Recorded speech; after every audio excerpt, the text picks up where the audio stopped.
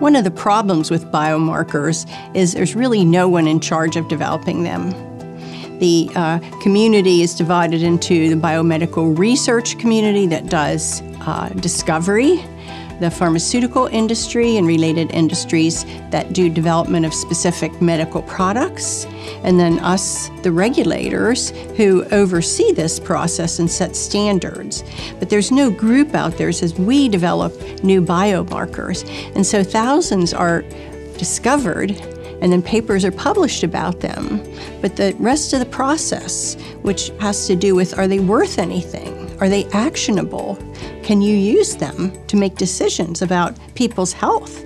For example, in drug development, there hasn't been an orderly process whereby that would take place. Because of this problem, a number of years ago, FDA stepped into this space and said we can see the need for a new generation of biomarkers, and we can also see the fact that they aren't being developed.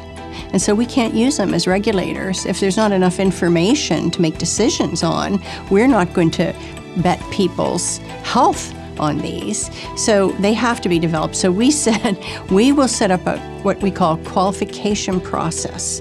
We'll set up a way that different groups can work on biomarkers, gather more information on them, and then we would state publicly this is qualified to make this regulatory decision or to support this type of development program.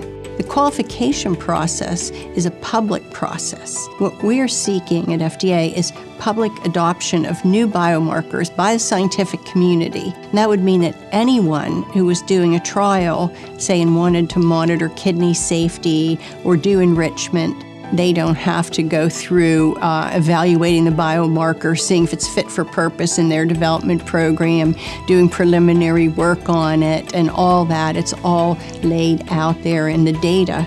Uh, the evidence underlying the biomarker will also be available. So if a uh, company, a sponsor, patient group, whatever they want to use that biomarker for something, all the evidence will be gathered and they'll see whether it's fit for purpose.